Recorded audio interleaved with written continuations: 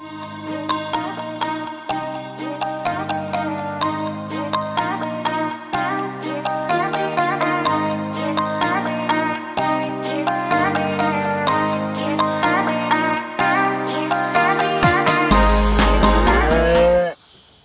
everyone and welcome back to the Dairy Academy. I'm Laura. And I'm Marijke, and this week we're going to talk about feeding equipment. Calves and other young animals have very naive immune systems, which means that they're highly susceptible to diseases.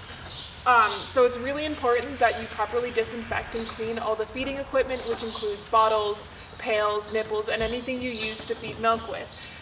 This will help reduce the risk of bacterial contamination and decrease the risk of disease for your calves.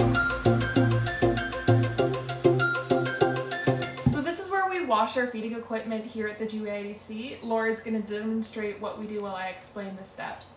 Um, the first step is to obviously take the nipple off of the bottle and then we rinse the bottle with lukewarm water. It's important the first step is lukewarm water as the hot water will coagulate the milk protein and it will cause an adherence to the bottle and there will be an increased risk of bacterial contamination.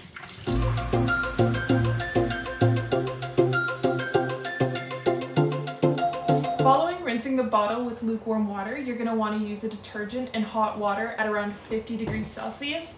Uh, the water is going to be too hot to touch but should be comfortable while wearing gloves. And then following adding the detergent and water, you're going to scrub it with a brush.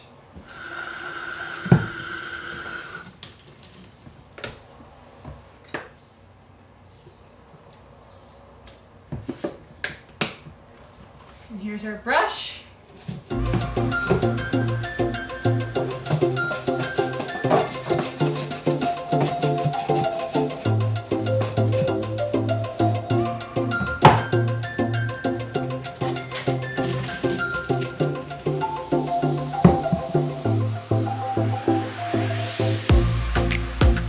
Rinse the detergent from the bottle, you can either use clean water or here we use a 10% bleach solution and a little bit of water and we rinse the bottle out.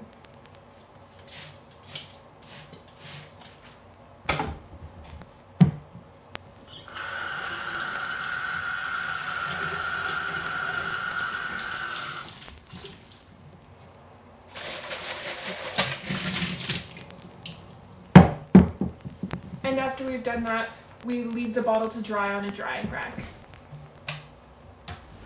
Alright, so what we showed you was how we clean and disinfect our bottles, but we do that same procedure for all feeding equipment that we use here at the GYADC. So whisks, pails, and our milk machine, we use an acid detergent to clean about every day. So that's it for this week's video on cleaning feeding equipment. Catch you guys next week. Bye!